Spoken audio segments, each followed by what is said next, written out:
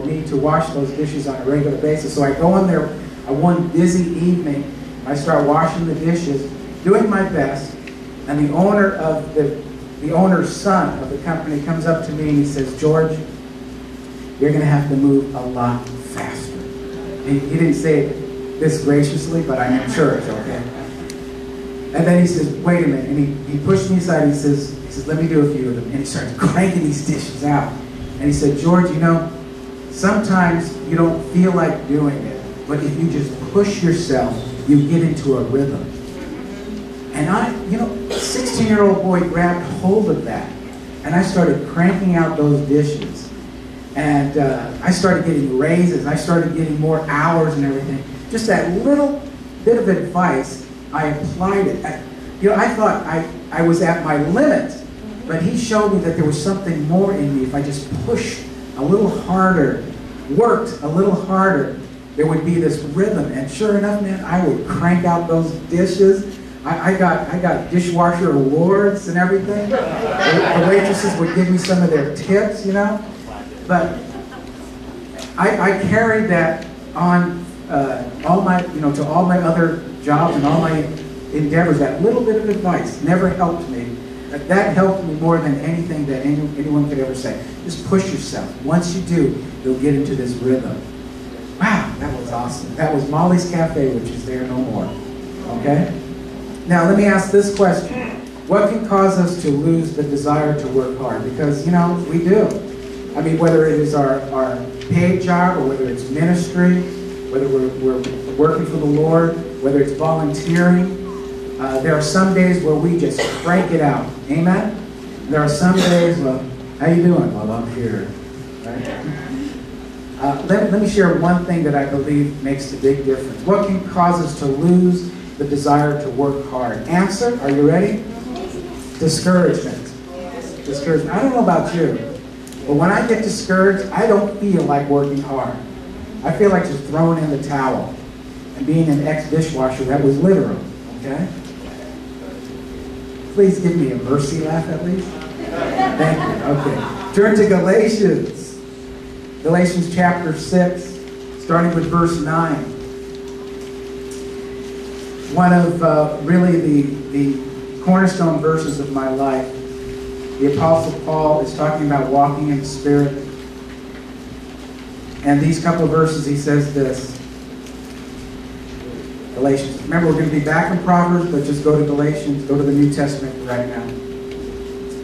He says, Let us not become weary in doing good, for at the proper time we will reap a harvest. Right?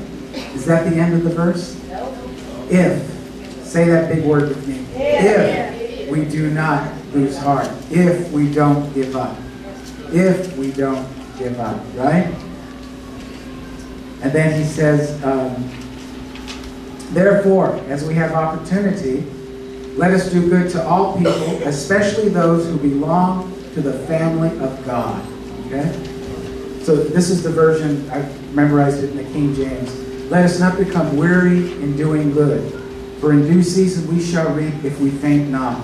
Therefore, as we have opportunity, let us do good unto all men, but especially, especially those that be of the household of faith or the family of God. So, what keeps us from being discouraged? Knowing that there is a harvest that we're working for, right?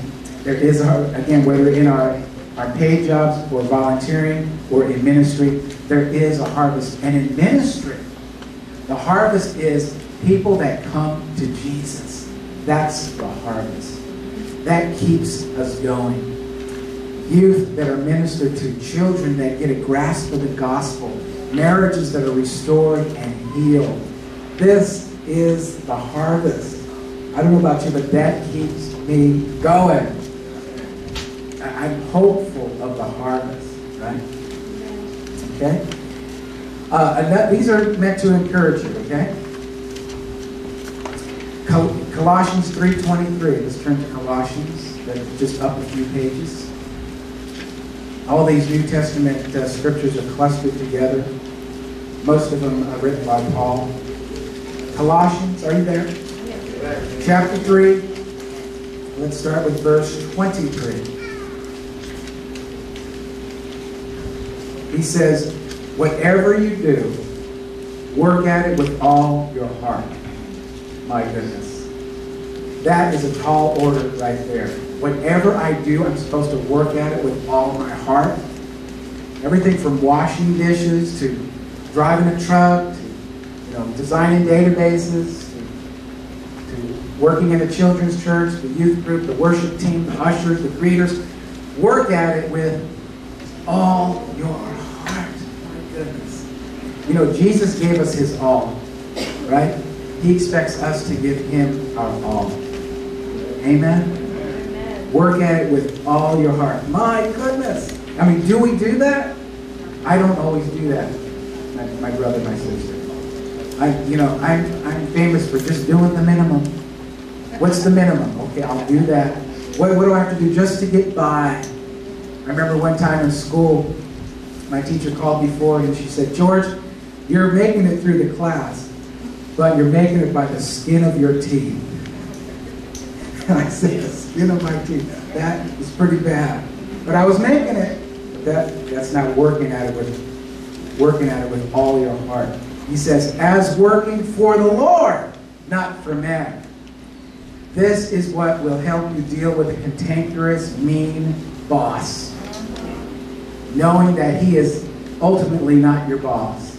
Jesus is your boss. Jesus is your boss.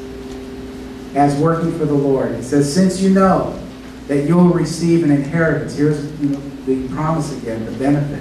From the Lord as a reward. Say reward. reward. It is the Lord, it is Lord Christ you are serving. Anyone who does, does wrong will be repaid for his wrong, and there is no favoritism. So, you know, that makes me want to pray for my cantankerous boss. Pray for the, the boss that's, that's mean to me. Amen? Pray for the pastor that's not appreciative. No, I appreciate all. But you know, sometimes we don't always get the accolades. We don't always don't always get the recognition and the thank yous. Amen. Because uh, people are human, and they're, they're not going to always give you what you deserve and should have. But it's going to be up to you to work with all your heart as unto the Lord and not unto men. Do it for Jesus. Tell the person next to you, do it for Jesus.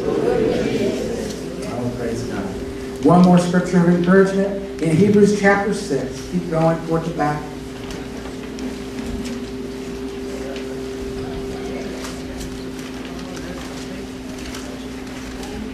Hebrews chapter 6.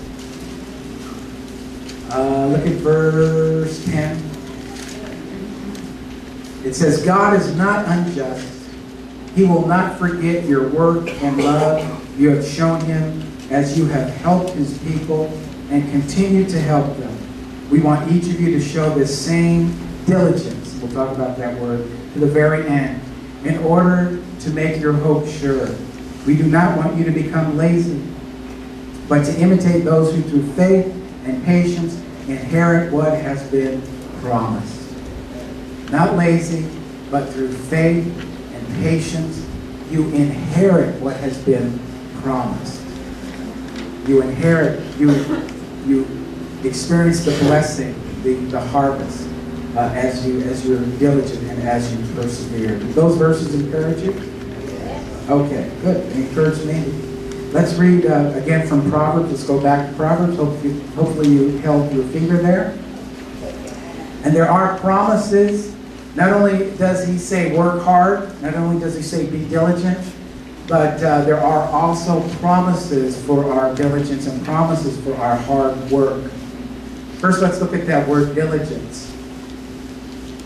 Diligent or diligence.